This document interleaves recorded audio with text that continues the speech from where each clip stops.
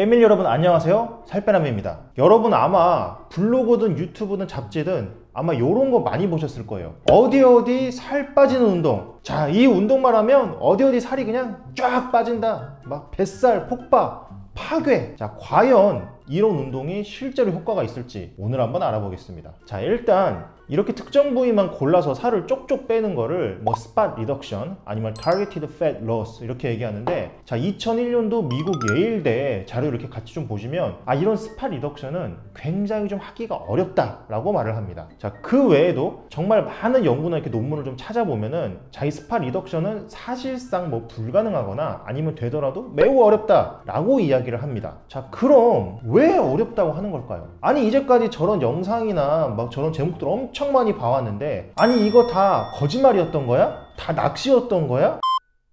자 일단 특정 부위 운동을 한다고 해서 그 부위 살만 빠지는 게 아닌 이유 크게 두 가지로 좀 말씀드려 볼게요 1번 어떤 부위 운동을 하든 에너지를 사용할 때는 전신의 지방을 분해해서 쓴다 즉 팔 운동을 한다고 해서 이 팔에 있는 지방만 쓰는 게 아니고요 자 전신에 있는 지방을 분해해서 그 에너지를 가지고 그게 혈관을 타고 와가지고 팔로 와서 쓰게 되는 겁니다. 따라서 뭐 특정 부위 운동을 했다고 해서 그 부위의 지방만 분해해서 쓰는 게 아니고 전신에 있는 지방 다 분해해서 쓰는 거니까 여기만 쏙 빠지진 않겠죠. 2번 지방이 바로 근육으로 바뀌는 일은 없다. 보통 운동을 하시면 이 몰랑몰랑한 지방이 바로 근육으로 바뀐다고도 생각을 하시는데 그런 일은 절대 없습니다. 지방과 근육은 완전히 다른 겁니다. 자, 여러분 쉽게 말해서 물을 막 발로 차고 막 때리고 막 어떻게 뭐 굽고 삶고 막 어떻게 하시든 간에 그거를 기름으로 바꿀 수 있나요? 아니면 반대로 기름을 막 발로 차고 막 손을 때리고 막 좋은 말을 나쁜 말을 어떻게 하든 간에 기름이 물로 될 리도 없겠죠.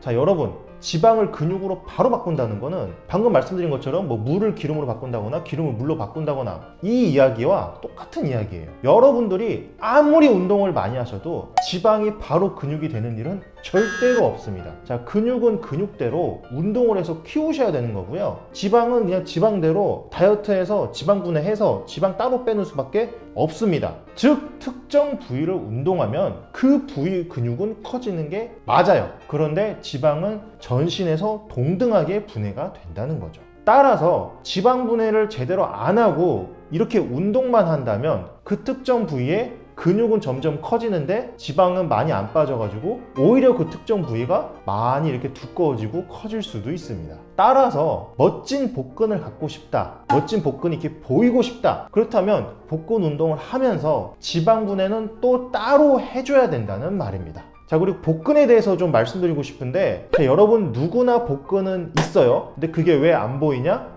지방 때문에 가려서 안 보이는 겁니다. 그래서 여러분이 복근 운동을 하면은 이 가려져 있던 복근이 커지긴 하는데 지방을 안 빼면 여전히 복근은 안 보일 겁니다. 아무리 운동을 많이 해도 잘 안 보일 거예요. 자 물론 특정 부위 운동을 했더니 그 부위가 좀 빠져 보이는 경우가 있을 수도 있어요. 자 지방은 아무래도 좀 늘어지기도 하고 중력의 영향을 좀 많이 받는데 이 근육 같은 경우에는 잘 안 늘어지고 중력 영향도 좀 덜 받거든요. 특히 팔뚝 같은 경우에 자 지방만 많으면 이게 축 늘어져 가지고 굉장히 살이 많아 보이다가 자 운동을 해서 근육이 좀 생기면 이게 좀 올라붙으면서 상대적으로 살이 좀 빠져 보일 수 있습니다. 하지만 이건 근육이 붙으면서 이 shape이 한마디로 모양이 좋아져 가지고 살이 빠진 것처럼 보이는 거지? 실제로 지방 분해가 돼서 있던 지방이 없어진 건 아니죠. 또 가끔 이런 분도 계실 거예요. 아니 운동은 둘째치고 살이 빠질 때는 얼굴이나 상체에서부터 먼저 빠지던데? 그 복부나 아래쪽은 좀 나중에 빠지는 것 같던데? 네 그 말씀은 맞습니다. 자 그거는 대부분의 사람이 이 얼굴이나 상체 쪽부터 좀 먼저 빠지게 되고요 그 먼저 빠지는 것처럼 보이기도 하고 또 대부분 하체나 엉덩이 쪽이 좀 늦게 빠지고 늦게 빠지는 것처럼 보이는 경우가 많습니다 자 그건 왜 그러냐면 이 지방분의 수용체도 그렇고 그 빠지는 순서가 다 어느 정도 정해져 있어서 그런 건데요. 자, 이게 인종마다 좀 다를 수도 있고 또 사람마다 개별로 또 조금씩 또 다르고 그래서 빠지는 순서가 조금씩은 다를 수 있어요. 근데 이게 뭐 운동을 하든 안 하든 그 순서가 크게 바뀌는 건 없습니다. 자, 마지막으로 특정 부위 운동으로 특정 부위가 살이 빠진다고 하는 연구들도 있긴 있어요. 자, 2017년도 로마 대학의 연구나 2007년도 코펜하겐 대학의 논문을 보면 운동을 하면 해당 부위의 근육이 움직이면서 해당 부위의 온도, 혈류량, 지방분해 호르몬 분비가 향상돼서 지방분해가 활성화될 수 있다고 합니다. 자, 다만 운동의 강도가 약해서는 아무 의미가 없고요. 굉장히 고강도의 무산소 근육 운동. 자, 쉽게 말해서 웨이트 운동을 꽤 많이 자주 해줘야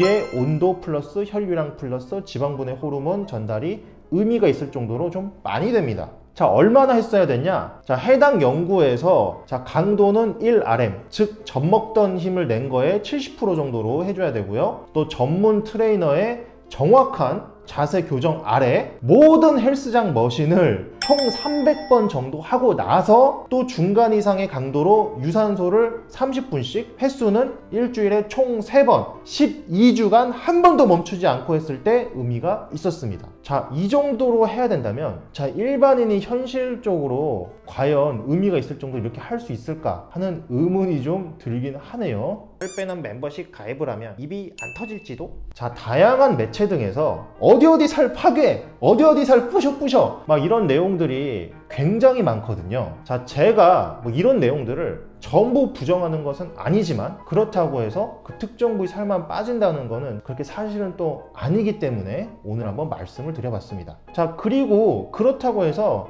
제가 뭐 그런 운동들 해도 아무런 소용없다. 이렇게 말씀드리는 건 전혀 아니에요. 자 어떤 운동이든 하면 다이어트나 체중 감량에는 분명히 도움이 됩니다. 자 오늘 이야기 듣고 또 이렇게 뭐 아, 부분적으로 운동하는 건 하나도 소용없나 보다. 난 오늘부터 전신 운동뿐이야. 또 이렇게 하실까봐 제가 좀 걱정돼서 높아실 말씀드리는데 자 여러분 부분 운동 이거저거 하시면서 여러 개 합쳐서 결국은 전신 운동 비슷하게 하셔도 아무 문제 없습니다 즉 한마디로 오늘은 팔하고 내일은 다리하고 이런 식으로 돌아가면서 합쳐서 하셔도 아무 문제 없습니다. 다만 제가 말씀드리고 싶은 거는 자 어느 한 부위만 계속하면 그 부위가 정말 빠지는 줄 알고 거기만 죽어라 하면서 되게 힘들어 하실 수도 있잖아요. 자 근데 그렇게 하면 효율성이 떨어지죠. 잘못된 정보를 가지고 다이어트를 하고 있으니까요. 자 그렇게는 하시지 말라는 의미에서 오늘 영상을 준비한 겁니다. 그럼 무슨 운동을 하면 되냐? 자 제가 항상 말씀드리지만 어떤 운동을 하시든 그냥 본인이 재밌고 또 오래 꾸준히 할 수 있는 그런 운동 하시면 됩니다.